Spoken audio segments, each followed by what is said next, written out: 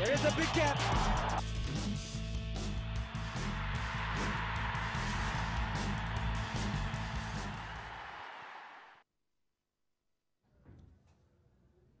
नमस्कार good evening सत श्रीकाल आदाब। आप तमाम दर्शकों का स्वागत है लेवन स्पोर्ट्स एडिशन में।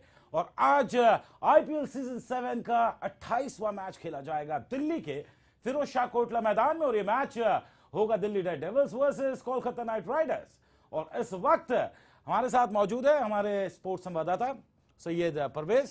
Parvez good evening how are you I am fine sir what about you fantastic fine है लेकिन यहाँ पर कुछ फाइन नज़र नहीं आ रहा है खास करके अगर दिल्ली डेडेविल्स की बात की जाए क्योंकि अंक तालिका में दिल्ली की जो पोजीशन है आखिरी पायदान पे चली गई है महज चार पॉइंट है इनके पास में। लेकिन चलिए आपको संक्षेप में दिखाते हैं। अब तक आईपीएल सीज़न सेवन में इन दोनों टीमों के बीच की कश्मकश बिटवीन कोलकाता नाइट राइडर्स और दिल्ली डेडेविल्स के बीच के क्या कुछ समीकरण है? क्या कुछ इनकी स्ट्रेटेजी है? आइए आपको बताते हैं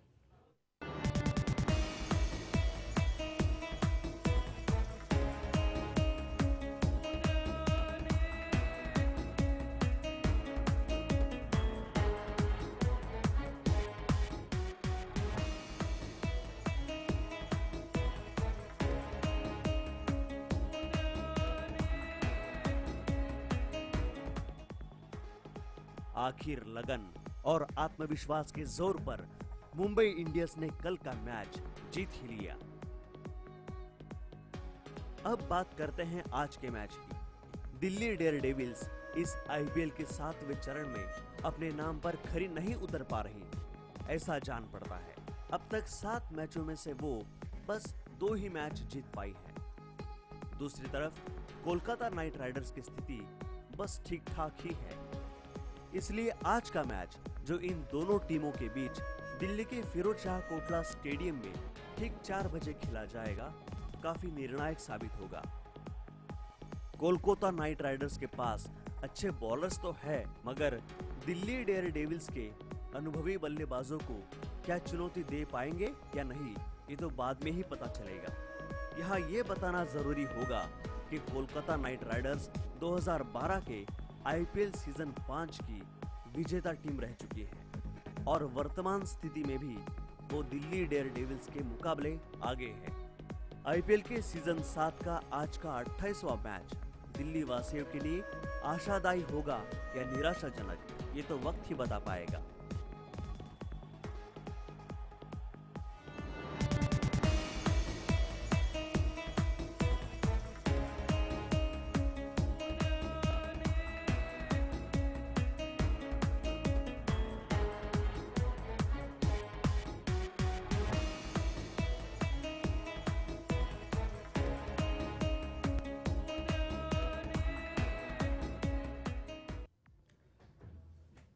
तो ये थी अब तक के समीकरण है दोनों टीमों के बीच में, जहाँ रॉयल चैलेंजर्स की बात माफ़ कीजिएगा, कोलकाता नाइट राइडर्स और दिल्ली डेविल्स के बीच की ये कहानी हमने आपको बताई है, लेकिन, इस वक्त परवेज से जानेंगे, यहाँ पर, परवेज जिस प्रकार से दोनों टीम है, कोलकाता नाइट राइडर्स गौतम गंभीर वर्सेस केविन पीटरसन जो कि दिल्ली के कप्तानी कर रहे हैं।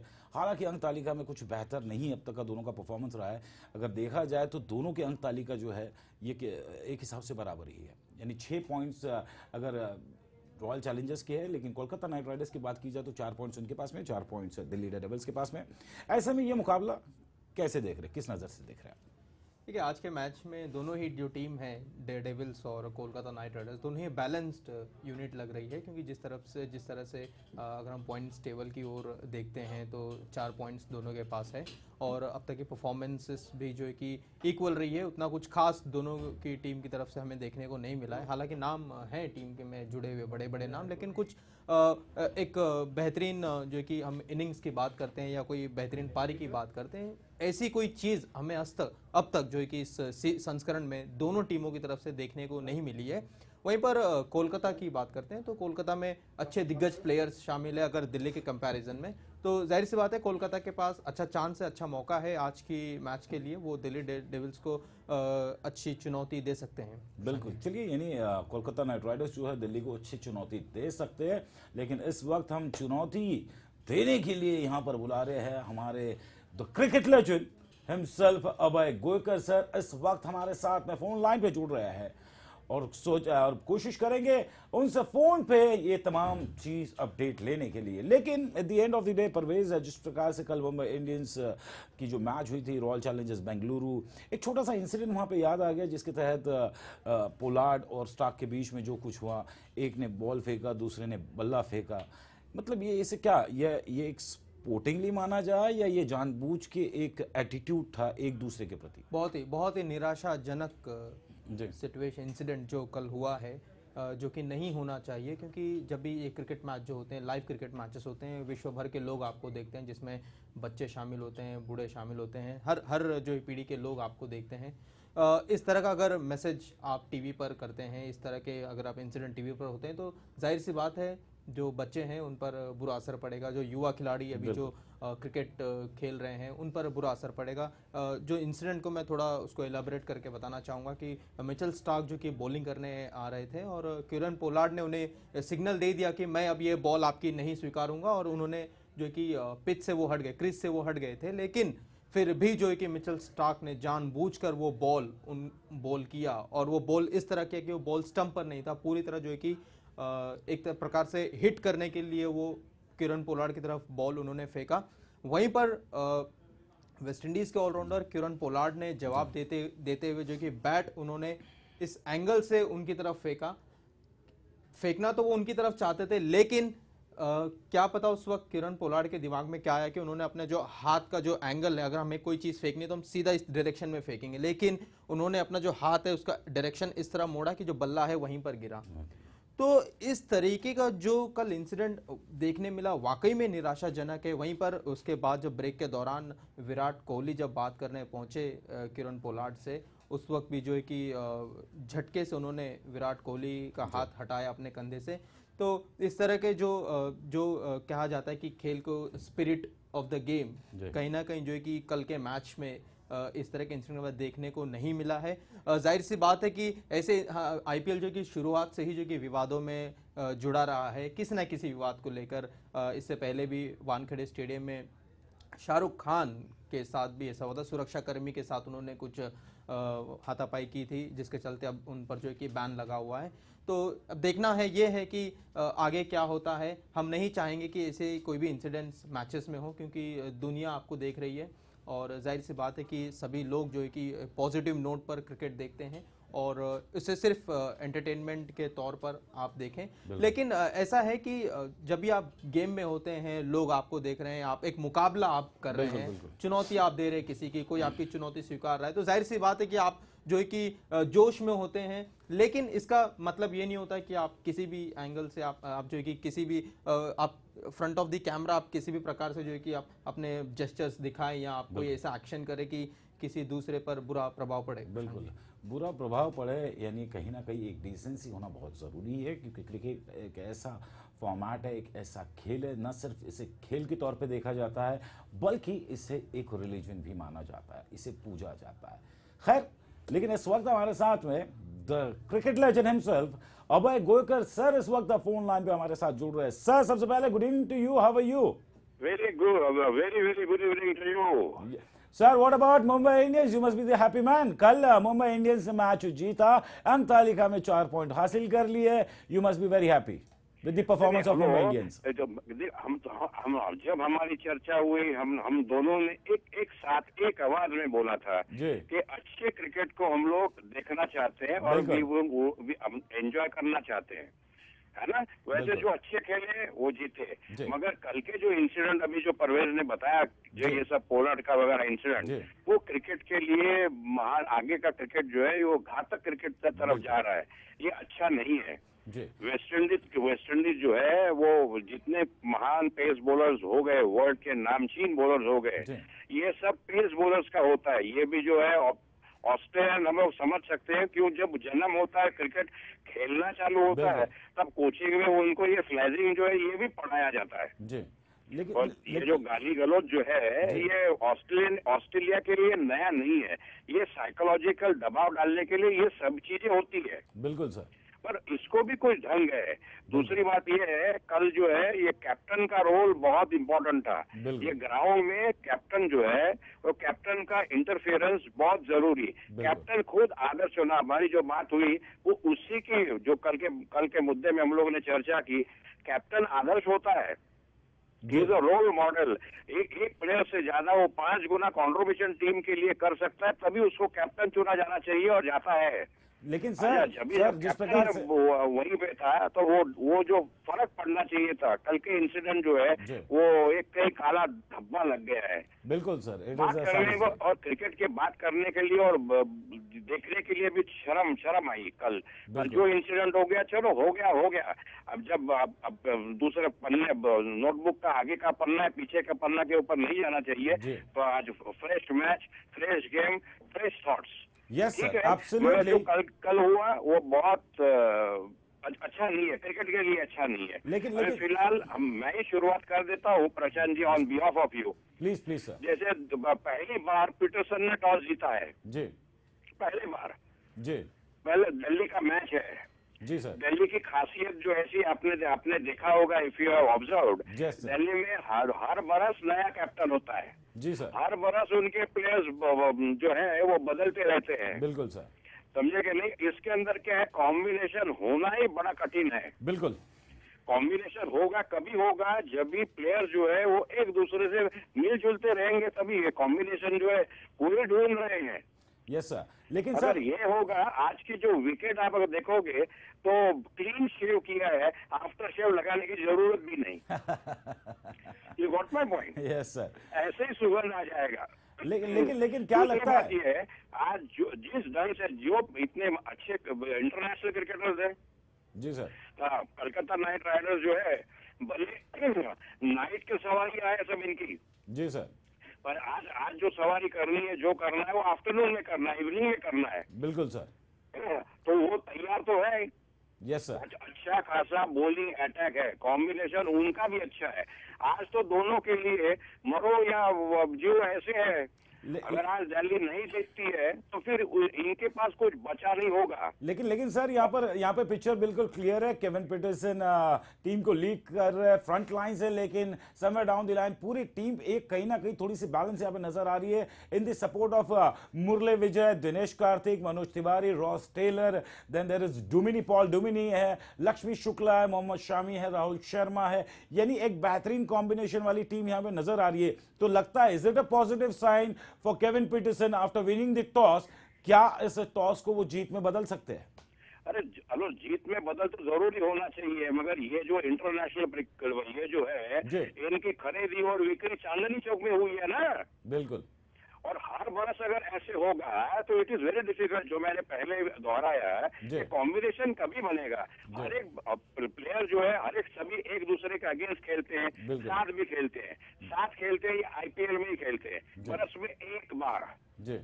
यू गॉट माई पॉइंट तो ये जो है फ़िलहाल कॉम्बिनेशन अभी तो बाहर बाहर से खेल के आए फिर से खेल रहे हैं। कॉम्बिनेशन जो है वो साथ में जुड़ना चाहिए ना। और दूसरी बात ये है कि कितना भी अच्छा बड़े बड़े नाम और भी कुछ होने दो वो जो साइकोलॉजिकल ये है इम्पैक्ट होता है वो वो हर एक प्लेयर इंडिविजुअल लेवल के ऊपर कैसे झेल पाता है।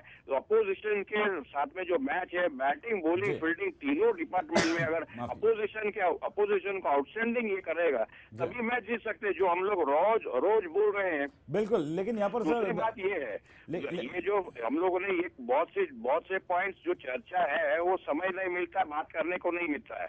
स्ट्राइक रेट जो है ना स्ट्राइकिंग रेट ये स्ट्राइकिंग रेट भी तो है वो बहुत काम का है। चलिए स्ट्राइकिंग रेट भी बहुत बड़ा इंपॉर्टेंट रोल एक फैक्टर प्ले करता है इंडिविजुअल परफॉर्मेंस के लिए लेकिन चलिए अपने तमाम दर्शकों को बताते कि अंक तालिका में फ़िलहाल कौन सी टीम कहाँ पर इस वक्त खड़ी है और कितने अंक लेकर वो इस सीज़न में अपना बेहतरीन परफॉर्मेंस दे रही है? सबसे पहले चेन्नई सुपर किंग्स सात मैच खेले हैं, छह में जीत दर्ज, एक हारे हैं, बारह अंक लेके एक नंबर पायदान पर वो खड़ी है। किंग्स इलेवन पंजाब छह मैच जीते हैं, छह मैच खेले हैं इन्होंने, पाँच में जीत हासिल की है, एक में हार, दस अंक लेकर दूसरे स्थान पर है। राजस्थान रॉयल्स सात पॉइंट लेकर, सात मैचेस खेले हैं। पाँच में जीत, दो में हार, दस अंक लेकर तीसरे पायदान पर है रॉयल चैलेंजर्स बेंगलुरु चौथे स्थान पर है। सात मैचेस खेले हैं। तीन में जीत हासिल किए चार में हार और कुल मिला के छह पॉइंट्स उनके पास में है।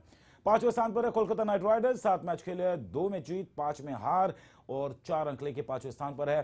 छठे पर है मुंबई इंडियंस, जो कल मैच जीते, हालाँकि रन रेट के हिसाब से मुंबई इंडियंस छठे पायदान पर पहुँच गई आठवें से और मुंबई इंडियंस ने अब तक का सात मैच खेले हैं। दो में जीत, पाँच में हार और चार अंक लेकर छठे स्थान पर है। सातवें पर पहुँच गई है सनराइजर्स हैदराबाद, जिन्होंने छह मैच खेले हैं। दो में जीत, चार में हार और चार अंक लेकर सातवें स्थान पर है। आखिरी में दिल्ली डेयर डेविल्स, सात मैच ऑलरेडी ये खेल चुकी है, ये आठवीं मैच होगी, यानी सात मैचों का जो अब तक का पॉइंट टेबल पर इनका जो स्कोर रहा है, सात मैच में दो में जीत हासिल है, पाँच में हार और चार पॉइंट लेकर बिल्कुल आखिरी पायदान पर, यानी आठवें नंबर पर इस वक्त दिल्ली डेयर डेविल्स है। परवेज, क्या कुछ कहना चाहेंगे यहाँ पर?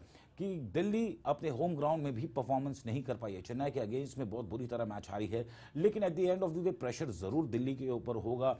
होम क्राउड है और सपोर्टर्स है उनके। बावजूद इसके वो कम नहीं कर पाई थी चेन्नई सुपर किंग्स के साथ। लेकिन क्या इस बार Gautam Gambhir and team Kolkata Knight Riders on the paper भले ही स्ट्रांग है। यूसुफ पठान है जैक कलिस है, मनीष पांडे रॉबिन उतप्पा तमाम लोग हैं, एक बेहतरीन कॉम्बिनेशन है मोकुल है जहाँ तक अगर पेस की बात की जाए, उमेश यादव स्पिन करते हैं, लेकिन परफॉर्म नहीं कर पा रहे। तो क्या फिर एक बेनिफिट ऑफ़ डाउट यहाँ पर मिल सकता है? कोलकाता नाइट राइडर्स को against Delhi Daredevils which is under under pressure देखिए ये पहली बार नहीं है दिल्ली डे डेविल्स का कि वो परफॉर्मेंस अंडर परफॉर्मेंस चल रहा है। इससे पहले अगर हम सीजन्स की बात करते हैं 2012 2013 में भी जो है कि परफॉर्मेंस काफ़ी डाउन रहा है। जिसके चलते जो है कि मैनेजमेंट को पूरी टीम को शफल करना पड़ा है। उन्होंने जो है कि पुराने जो चेहरे उसको हटाकर जो कि नए चेहरे लिया है उन्होंने शामिल किया है टीम में। वीरेंद्र सहवाग जो टीम की टीम को लीड करते थे इससे पहले वो भी अब टीम में जो कि टीम से बाहर है।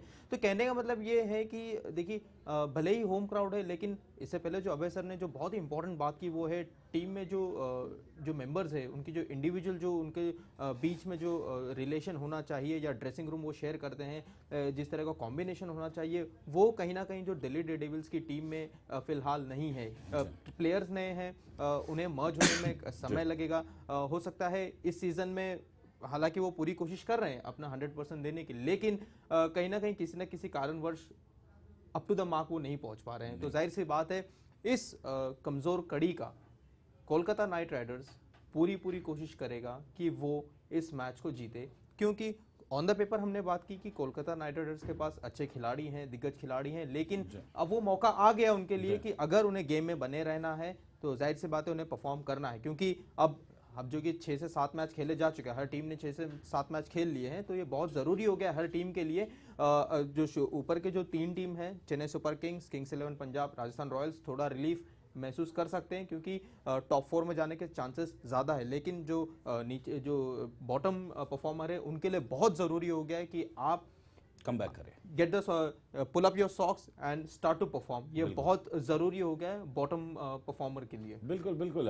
अब सर आपसे भी यहाँ पे जानेंगे uh, जिस प्रकार से दोनों Kolkata Knight Riders as well as Delhi Daredevils दोनों के अंक तालिका में चार चार पॉइंट्स है सात सात मैच ऑलरेडी खेल चुके हैं। यानी first half of IPL is finish for them अब जो रिमेनिंग सात मैचेस है इसमें दोनों टीम चार चार अंक यानी not up to the expectation दोनों की परफॉर्मेंस है लेकिन इस बार ये दोनों एक साथ खेल रहे हैं। What kind of and total you will expect from the team who is performing देखिए अब जो जैसी विकेट है जैसे वेदर है बड़े फोर्टी प्लस है गर्मी है तो समझने के लिए पहले जो है वो विकेट का जो बिहेवियर है मैच के ऊपर बॉल बल्ला आना ज़रूरी है। जैसे मैच प्रोग्रेस होती जाएगी वैसे सभी ठीक ठीक ठाक हो जाएगा। 180 तक स्कोर होना आराम से हो सकता है। और 180 के ऊपर जो होगा वो कोई भी टीम जो करेगी उनके लिए बोनस है। उनके लिए बोनस है। Parvez what kind of an total you expect अब सर ने कहा है 180 will be the safer side score decent score to win the match? हाँ ज़रूर one eighty is a decent score in fact अगर आप दिल्ली डे डेविल्स के current performance के हिसाब से अगर हम बात करते हैं तो मैं 180 के साथ नहीं जाऊँगा। मैं चाह मैं ये समझता हूँ कि करीब 130 टू 150 के बीच में इनका स्कोर वो लैंड अप करेंगे। 130 टू 150 स्कोर लैंड अप हो सकता है, क्योंकि दोनों टीमें not up to the expectation they are performing लेकिन सर यहाँ पर जो आपने हमेशा ये कहते हैं कि at the end of the day a cricket team यानी तीनों department batting batting bowling and fielding ये तीन की शेड्स है क्रिकेट की। इस शेड में लगता है आज सबसे ज़्यादा एक्सपेक्ट आप किस टीम से कर रहे हैं कि जो बेहतर इन तीनों डिपार्टमेंट में कारगर साबित हो सकती है? देखिए दिल्ली दिल्ली ने 180 करके भी हार गए बेचारे। बिल्कुल बिल्कुल। You got my point they have tried their level best बिल्कुल।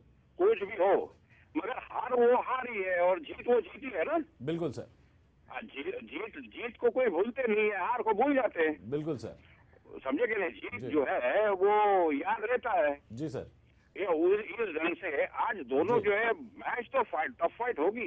ये नहीं कि जो कलकत्ता नाइट राइडर्स जो है उनके सब नाइट भले वो नाइट राइडर्स होने दो। पर आज दिल्ली में आके वो दोपहर की मैच खेल रहे हैं ना? बिल्कुल। तो आज राइडिंग बराबर करेंगे। देखिए गैरी कस्टन जैसे इंडिया को वर्ल्ड कप जिताने वाला कोच उनके पास है। जी sir. You got my point चलिए, चलिए sir on this good note which team you will support personally hello which team you will support personally किस टीम को ज़्यादा पसंद कर रहे हैं आप? एक अंधा है लूला है समझे क्या नहीं? ये ये ऐसे मैच है। तो हम हम दोनों दोनों मैच दोनों टीम को सपोर्ट करेंगे गुड विशेष देंगे। Okay. और जो अच्छा करेगा